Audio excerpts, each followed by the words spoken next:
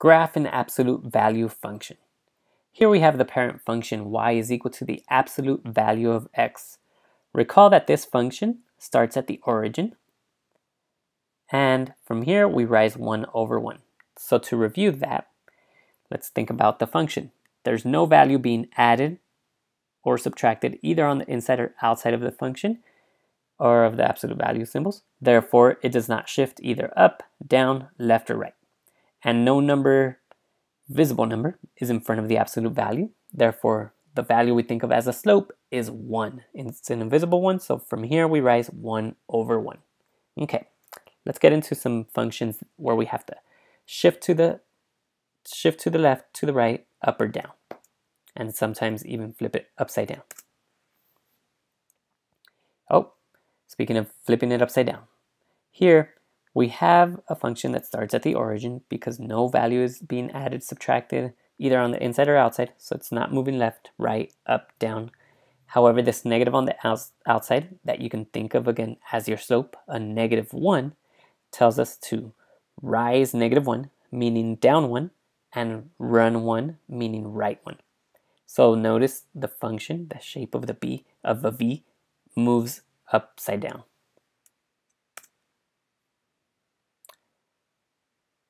Now we have y is equal to negative 3 times the absolute value of x. Again, we start at the origin since no values are being added or subtracted anywhere. And that negative 3 tells us to rise negative 3, meaning down 3, and run 1. Now we have a minus 6 on the outside. If you recall from our exploration activity, subtracting outside of the absolute value shifts the function downward. So we shift down six units, and from here, our slope, if you will, is 1. Therefore, we rise 1 over 1.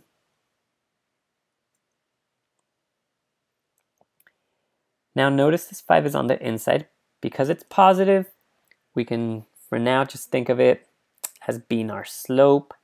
We'll come back to discussing what happens when it's a negative, and I'll quickly mention it now is we simply, if there's a negative right in here, we would think of it as still being a positive in terms of it being a slope because the absolute value will cancel that negative value. Anyway, let's go ahead and start at zero. And from here, we will rise one, two, three, four, five units and run one. Okay, glad this example came up because it has a negative on the inside of the absolute value with the value that's a coefficient of x. So let's start with this negative 7 though. This negative 7, or minus 7 rather, tells us to shift downward 7 units. That is our starting point, our vertex. Now from here, you might think that the negative 2 inside, which we were thinking of, of as a slope, would tell us to go down 2, right 1. But because it's inside the absolute value, the negative actually turns into a positive. So we're going to rise 2 and run 1 in this case. Now, I'm glad this example came up immediately after the previous. Here, we start at a positive 8, a plus 8 on the outside, meaning we shift up 8 units. So notice the negative 2 is now outside. This negative will stay with the value, so we actually think of it as rising negative 2, in other words, down 1, 2 units and running one, one to the right. Okay, let's skip forward a bit. Let's try to find some problems. Yes, just like this one. We haven't done any of these yet. If we have subtraction, addition on the inside of the absolute value, remember that's shifting either left or right. In this case, subtracting on the inside is shifting to the right. Again, it's counterintuitive when dealing with left or right, in this case minus 3 will move us to the right 3 units. And then from there we're going to rise 1 over 1 because the invisible number out in the front here is a 1 rise 1 over 1 let's go ahead and take this graph here that has two steps to it. We're moving up 3 units and also right 5 units. Again, think of the inside counterintuitively as the opposite, move to the right, not left, just because it's negative. So we're moving up three units from the origin, one, two, three. and then 5 units to the right. 1, 2, 3, 4, 5. So this is our vertex point, where this is our, the x value is positive 5, and the y value of that vertex is positive 3. It's the ordered pair 5, 3. Now the slope, again, if you will, is 1. We go one unit upward and one unit to the right, and that would be our graph.